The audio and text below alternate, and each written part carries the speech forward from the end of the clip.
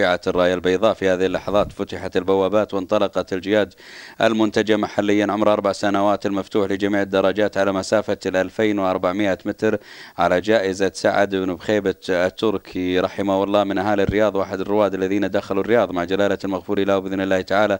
الملك عبد العزيز بن عبد الرحمن طيب الله ثراه وشاهد الآن خزين في المركز الأول المركز الثاني للواعظ المركز الثالث لندار والمركز الرابع في هذه اللحظات الاحتدام مع انطلاقة هذا الشوط والمرور من أمام المنصة الرئيسية مشاهدينا الكرام.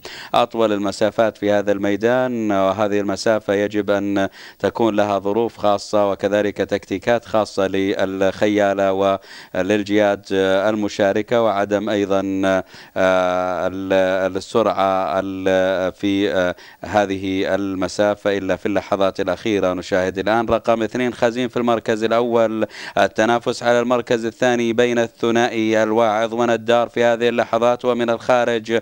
أشاهد الآن عذب المشاعر يحاول وتأخر الآن إلى المركز الخامس في هذه اللحظات. الاحتدام المرشح الأقوى للفوز في هذا الشوط فيما المحاولات تأتي لبقية الجهاد المشاركة معنا في هذا الشوط. والتنافس على شد ولا زالت الصدارة والمركز الأول لخزيم مع محاولات الآن لعذب المشاعر من الخارج. ندار يأتي في هذه اللحظات والرباعي المسيطر على المراكز الأربعة الأول في هذا الشوط ندار وكذلك خزيم والواعظ وعذب المشاعر واحتدام. بدأت المنافسة وبدأت القوة الآن والانطلاقة قبل المنعطف الأخير. بدأت القوة الآن والانقضاض على الصدارة ومحاولة السرعة في هذه اللحظات.